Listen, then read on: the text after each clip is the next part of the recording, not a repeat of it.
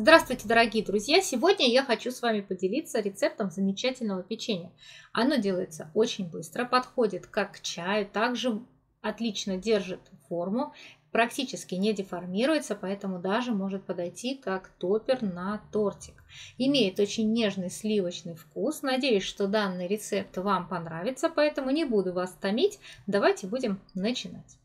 Для теста нам понадобится 120 грамм сливочного масла, 100 грамм сахара, 250 грамм муки, одно яйцо, 0,5 чайной ложки разрыхлителя и апельсиновый сахар по желанию.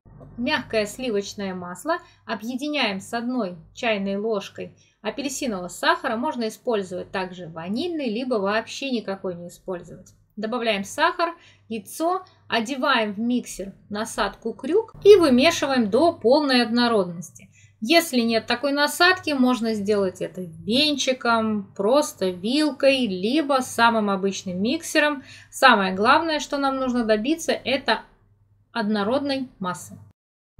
Теперь добавляем разрыхлитель и муку. Делаем это с небольшими интервалами, так тесто получится эластичным и с ним будет очень приятно работать. Готовое тесто собираем в шар и выкладываем на стол, заранее присыпанный мукой.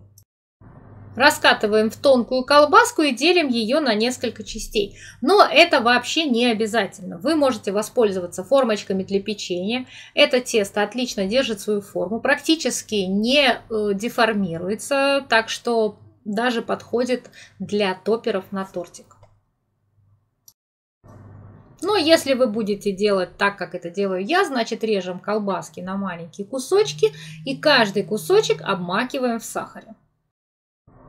По желанию на каждое печенье можно нанести текстуру. Я это делаю вилкой, вы можете сделать любым другим удобным для вас способом. Выпекаем печенье при температуре 200 градусов в течение 15 минут.